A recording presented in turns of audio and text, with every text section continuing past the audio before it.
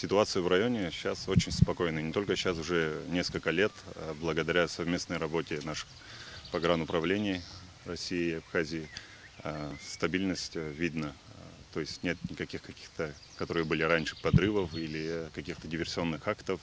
Наше погрануправление совместно с погрануправлением Российской Федерации а, занимается своим делом на основании закона Республики Абхазия о государственной границе от 21 мая 2010 года. Вот, э, происходит то, что э, на границе э, между Грузией и Абхазией э, заменяются устаревшие столбы, ограждения.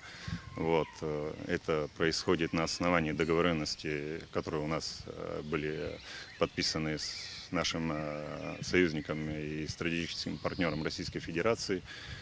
Все в рамках закона. Грузия уже свыше 27 лет занимается этой пропагандой. Ну, как мне лично видится, наверное, это опять-таки же связано с женевскими дискуссиями, которые должны быть э, в ближайшем будущем.